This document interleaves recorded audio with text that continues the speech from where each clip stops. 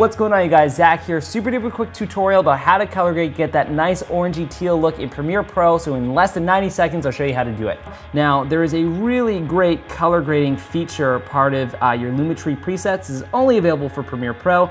Go into SpeedLooks, then in the drop down menu, press universal. You're gonna scroll all the way down to S-Log SL Retro Brown Universal. I avoided this for such a long time because at the bottom of the drop down menu. Don't, it's really great. So drag and drop it, put it over top of your footage, and boom, it already looks pretty sick.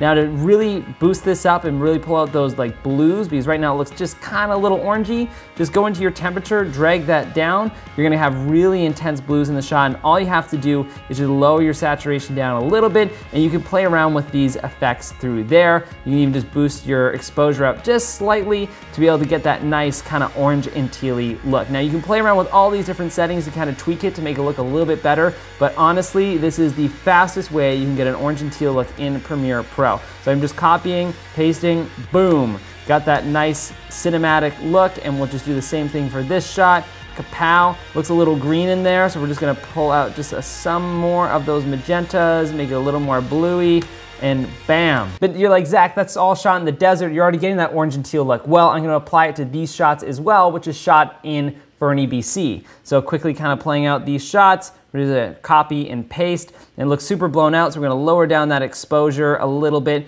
pull out, drag down that blue temperature, bring down the contrast and highlights, bring down those highlights, and even lower down the contrast slightly. And then I'm gonna do copy, and we'll start pasting this onto this footage here from Fernie, and boom. That is a 90 second way that you can color grade your footage in Premiere Pro. It's an amazing little technique. If you like what you're seeing in this video and want to look at some more, give my YouTube page a subscribe. There's plenty more tutorials coming along as well as like motivational videos and stuff. If you wanna follow me on the Instagrams, you can follow me at Zach Ramelan for more, you know, following my life and whatnot. I'll see you guys later. Thanks for watching and that's it. See ya.